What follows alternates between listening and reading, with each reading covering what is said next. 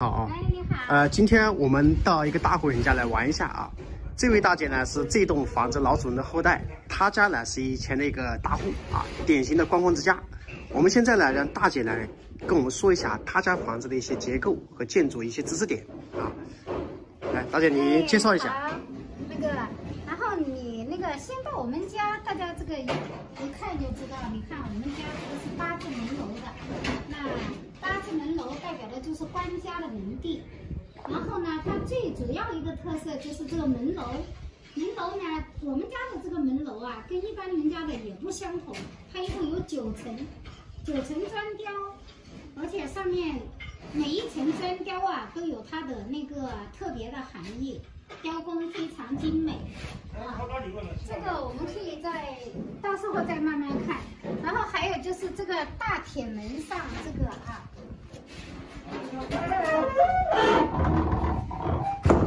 你看这个铁门也是上面有一个商标 River，这个当时也是从那个外国进口的。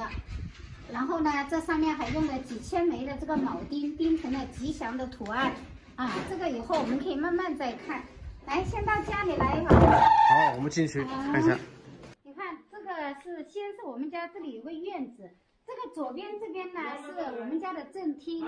它有那个两百多年的历史，是清朝嘉庆十九年建的。然后这一边的这个偏厅，它是民国民国初年就扩建的。啊，最有特色的呢是这个上面的这些玻璃，这个玻璃是。从当年在德国定做的手工磨砂玻璃，你在别的徽州民居啊，那个是绝对看不到的啊。这个到我们家里来的人也很多，而且它这个很薄，只有两毫米厚。哦，只有两毫米，这么只有两毫米厚。你看一边有的一边这个有凹凸感啊。哦。那你比如说呢，像这个它就没有，就这个是一种那个现在都很少有的工艺，就几乎是失传了。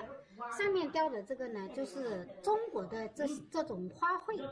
哦，你这种玻璃的话，其实在徽州其他的民居当中也是看不到的。其他的地方你们是看不到的啊。非常有特色。对，这个是。然后这里呢，雕壶雕刻的是西湖。是西湖的景致，就以前都说嘛，对，上有天堂，下有苏杭。这个就是雕在家里啊，给老人，老人在家里啊。那个不出家门也可以就欣赏到西湖的景致。啊，这里呢有一个游廊啊，啊，游廊是圆形的，代表的是花好月圆的意思。对，这个代表的是花好月圆。哎，大家看一下，这是我们家的正厅。正厅呢，它是建于清代嘉庆十九年，那个堂名叫怀德堂。所有的这个正厅的主要的木构件呢，都是用银杏木建的。那大家都知道，银杏它是那个植物的活化石。然后那个房子上呢，雕刻有这个房神，这个倒挂的狮子。狮子呢是只有在那个当官的人家才可以雕刻啊，就是这个呢就叫房神。同时，我们家这个窗子上啊，这个上面也雕了小狮子，这个也是比较少见的，在徽州这一边。啊，然后那个雕刻的狮子，这个些雕刻呢也都很精美，包括这个窗肚板部分，这里有雕刻了琴、琴、棋、书画。当时祖上雕刻这个呢，就是希望我们子孙后代能够琴棋书画样样精通，啊，游学入仕。啊，再就是这个，这个是一个，这个就比较厉害了，这是一个文物。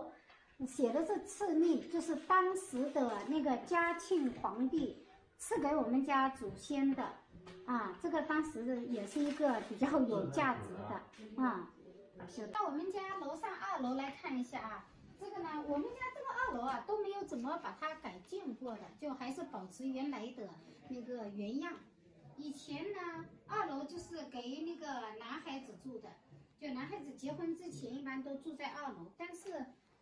徽州的男孩子嘛，大部分都会出去经商或者学徒或者读书，就对，其实他住的比较少。那个最有特色呢是这个位置，这个呢就是以前徽州是每户人家都有的的那个就是祖宗的龛位，但是我们家这个呢跟一般人家不同的是，我们家供奉的是天地君亲师位，那个祖宗牌位是放在两边的，啊，还有一个呢就是这个这幅那个壁画，这个壁画呢，它这个描绘的是那个儒释道三教合一的。这个也是体现我们徽州这边的一个那个就宗教文化啊，一个包包纳。这幅画多长时间了？这个这个也有两百多年。哦，两百多年啊。哎，这个有两百多年。嗯。现在大姐呢，请我喝茶啊，喝茶还有吃糕点，这也是我们徽州啊传统的一个风俗。我想问一下大姐啊，嗯，你现在在家里啊过的是什么样一个生活呢？那现在在家里啊，那就是。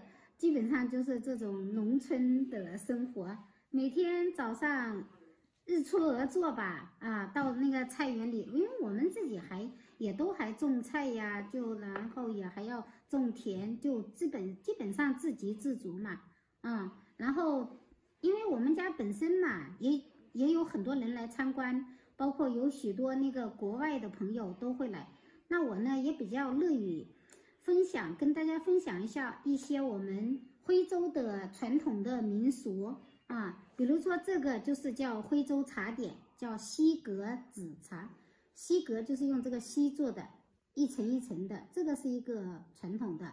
还有就跟他们了解一些我们我所知道的一些徽州的典故啊。再呢就是每天打理打理我的房子。然后我们家嘛，就是没有经过改建过的。然后我们也希望把房子把它打理好，再把它保护传承好，这样呢，然后一代一代的传下去。这样的话，那个以后的朋友到我们家来吧，就可以看到这种原汁原味的，而且能够保存得保护的最好的，就是徽州精华的这个建筑啊。希望以后大家有时间到我们南平濒临阁来喝茶、吃茶点。